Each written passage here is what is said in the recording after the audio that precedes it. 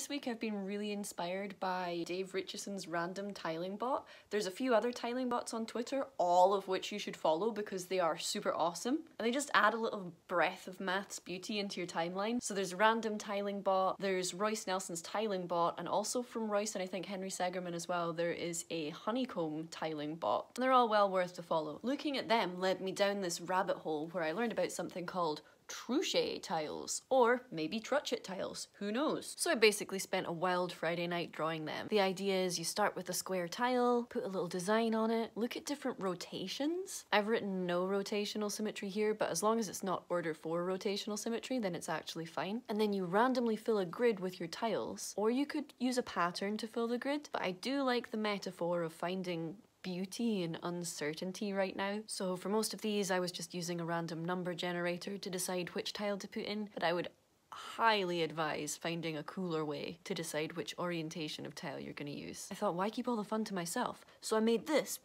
It's a little zine of Truchet tiles. It's got instructions, it has some ideas, it has a place to play and mess around. So if you know anyone who's in desperate need of a little bit of maths, you could print this out and just like, I don't know, put it through their letterbox, hide it in their pocket. And on the back is a little note about the Maths Zine Fest that me and my California maths friends Chris No and Becky Warren are gonna be hosting on the 27th of February. It's absolutely free. It's basically just a workshop. We're gonna get together, we're gonna nerd out about maths, we're gonna talk about zines, we're gonna make some zines, and then at the end, hopefully have a big old zine swap. It's just gonna be good, geeky fun. There's an Eventbrite, but like I say, it is free, it's just so we know how many people are coming. It will be on Zoom because, you know, and I really hope to see some of you there. Stay nerdy!